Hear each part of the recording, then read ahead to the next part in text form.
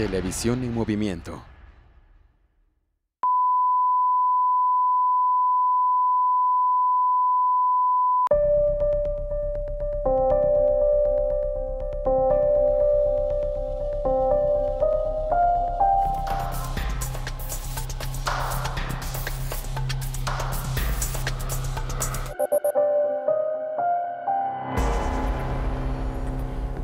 Tardes, iniciamos con el dedo en la llaga. Es un placer darles la bienvenida a este importante esfuerzo informativo de Noticiarios Radiorama, MBM Televisión y por supuesto Corporativo de Noticias y Marketing a Diario Oaxaca. El día de hoy nuestro compañero Jaime Velázquez nos puede acompañar, ni modo lo extrañaremos mucho, ¿verdad Jorge Marín?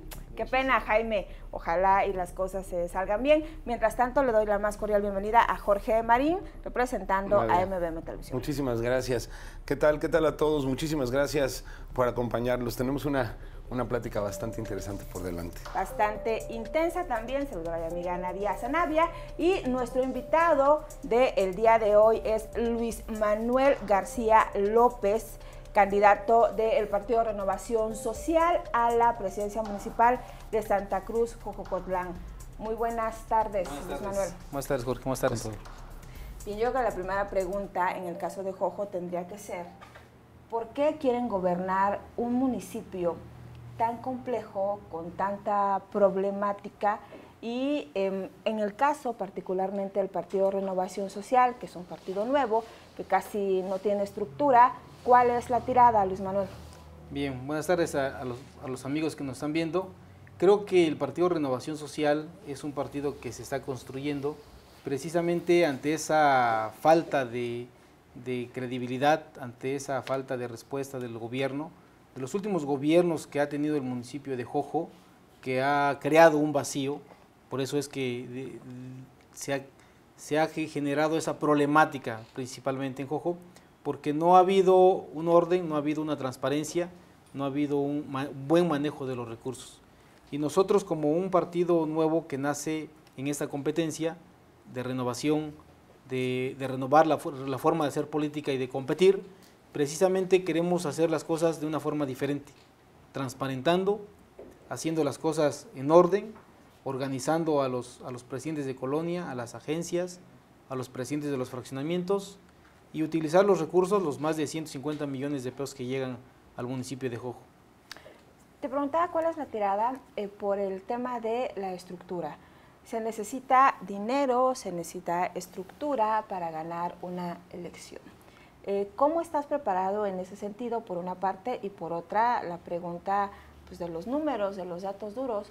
¿Con cuánto se gana Jojo? ¿Con cuántos piensas ganar tú? Y de no ganar, tus votos, tu jalada de votos, ¿a quién beneficia Luis?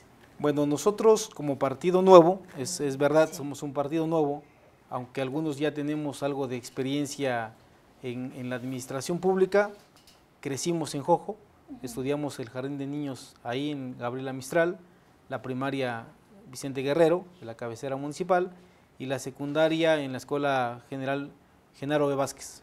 Creo que el haber crecido en Jojo nos hace una, con una posición de, de conocimiento de los problemas, pero obviamente la estructura de partido va, va creciendo en la dinámica de los amigos que se van sumando.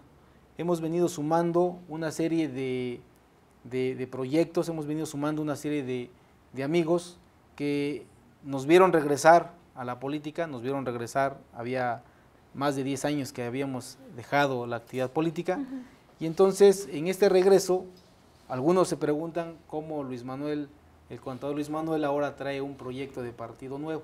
¿En qué Eh, partido militaste antes? Antes trabajamos en el 99-2000 en el, con el, el primer gobierno del PRD, ahí estuvimos, y luego el 2004 nos tocó la oportunidad de, de volver a competir y ganamos ese proceso electoral en el 2004 y estuvimos colaborando en el 2005 en la administración igual como secretario técnico del presidente municipal en turno.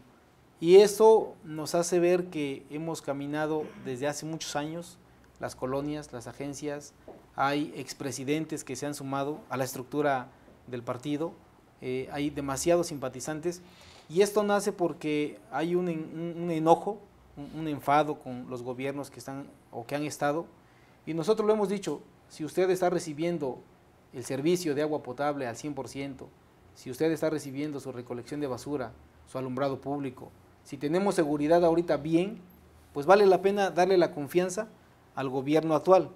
Pero si no es así, pues la gente tiene que reflexionar y como lo dicen nuestros volantes, piensa, luego vota. Luis, te voy a regresar a la pregunta que te hice. En cuanto a estructura, ¿cómo están? ¿Cuántas casillas eh, hay en Jojo y si las tienes cubiertas eh, a full o si tienes que seguir pidiendo apoyo a la ciudadanía, que también lo puedes hacer, por supuesto, a través de, estas cámaras? Porque yo sé de candidatos valiosos que tienen mucho arrastre ciudadano, a quienes sí les falta estructura. Y sabemos que estas elecciones que son concurrentes, los partidos grandes, me refiero a las coaliciones, en este caso creo Juntos Hacemos Más, en lo que se mueven es en el día de, en eso, en la estructura. El examen, el examen final es el 5 de junio, lo sabemos, ese es el día del examen.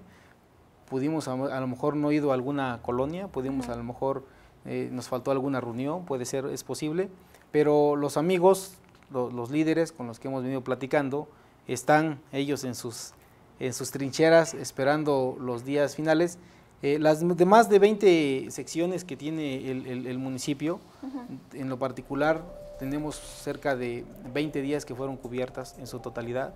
Las 85 casillas que son con las que contamos ahí en el, en el, municipio de Jojo, las tenemos registradas con su propietario, su suplente y tres, tres amigos que van a estar observando todavía esta, cada casilla, cada sección. En cada sección tenemos amigos que van a estar cuidando, vigilando que el proceso se lleve en orden porque sabemos cómo... O sea que tendrás un ejército como de 400 personas más o menos. Más o menos. Eh, exclusivamente para revisar el asunto casillas. Exclusivamente. Aparte de la movilización. ¿O no vas a hacer movilización? Exclusivamente para poder eh, garantizar que los partidos que se dicen grandes pues realmente cuando vean la situación, la realidad, la realidad no quieran enturbiar la, elección, porque sabemos cómo, cómo se manejan y, quienes, quienes han recurrido y quienes han estado recurrentemente en las mismas planillas, en los que han venido cambiando, digo, ah, estaban en un partido, ahora están en otro partido, luego vienen, pero son planillas que, que, que en los últimos 9, 10 años son los mismos que han estado ahí. Entonces, sabemos cuáles son las actividades que hacen. Para que irse 10 años y luego regresa. Pero 10 años hay que pensar en que eso también puede explicar o puede interpretarse como el, la estructura de saqueo sistemático de lo que ha sido Jojo. Y, y, con toda franqueza, la pregunta también debe ser, ¿puede un partido nuevo gobernar independientemente del conocimiento que se tiene de la comunidad, independientemente si lo van a dejar, Exactamente. ¿Puede? Quien ha saqueado sistemáticamente Jojo simplemente va a decir, pues ya no nos tocó. Ajá. Claro. O, qué ocurre, o, si va a negociar qué, el tamaño es el monstruo con, el que se tendrían que enfrentar si ganan. Nos tenemos que ir a un corte, es muy breve, regresando, además de las preguntas que dejó en el aire Jorge Marín, quiero saber con cuál es la proyección que ustedes tienen para ganar eh, Jojo y con cuánto se gana históricamente ese municipio. Nos damos un corte, es muy breve, regresamos.